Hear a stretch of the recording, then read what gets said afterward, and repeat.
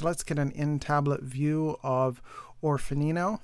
Um, if you can see, uh, Orfanino provides you with essentially a palette of notes.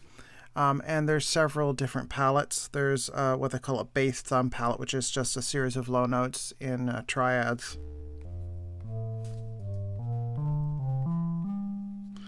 There's the mini blues, so you can, uh, a bit of a blues scale there. Um, what they call calm, which is just the first five notes of a scale. Pentatonics. Um, a harmonic minor scale. Now, it's not always clear how these are um, laid out in the palette, so it's not necessarily a line. Um, so sometimes you kind of have to pay attention and you see how it skips back and forth. It's not always the most intuitive um, interface. Lydian mode, um, just an upright piano. Um, chromatic scale within an octave, um, a series of thirds.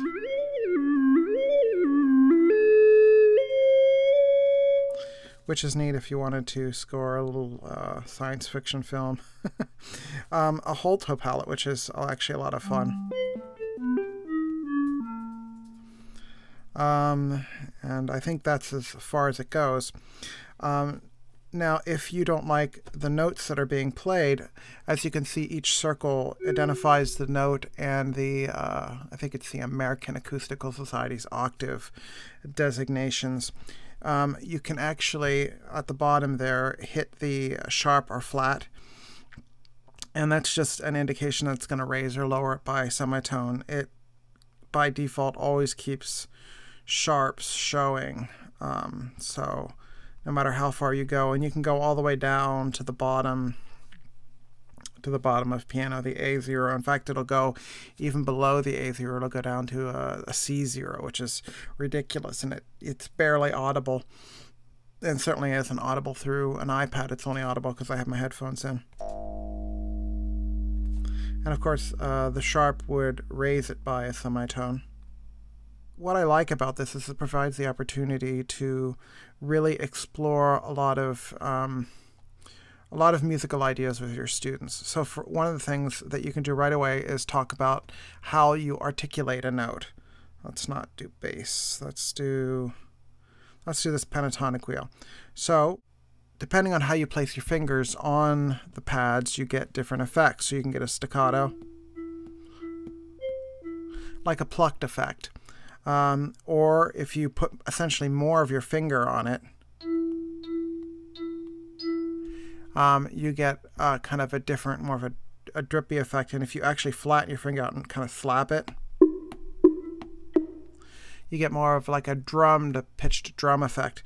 Um, now, what's what's nice about this is that if a student is you know creating a melody with this, he can practice using different articulations. So.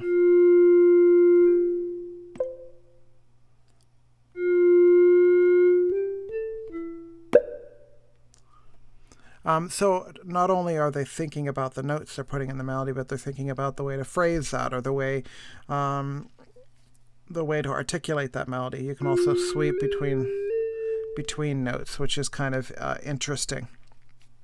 Now, one thing I find a tiny bit disappointing is that you can't set up these pitch palettes yourself. So, say you want an octatonic pitch palette or something like that, you really can't create that. The pitch palettes you're provided with are kind of the only options that you have, but it does do um, some other interesting things. Um, so for instance, if I hit this C um, in the middle, it just plays C4, middle C. But if I uh, move to the outer edges of this C, it'll bend the pitch up, and you can specify how much. In my case, I have it bending um, up almost a semitone.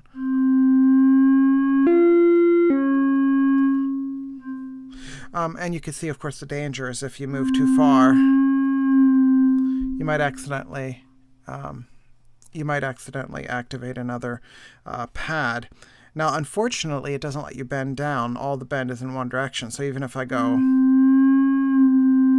even if I move my finger down, it still bends the pitch up. Another interesting um, characteristic is if you go side to side, it creates a tremolo effect. So again, it's it's a it's another um, another aspect that a student can add into their palette.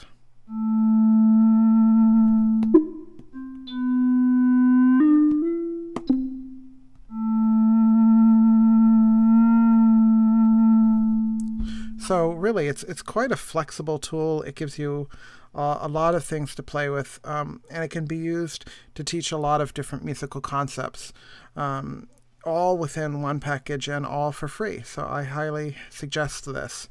Um, one last thing is you can save and record your melodies. So I could go here and I could turn on start recording.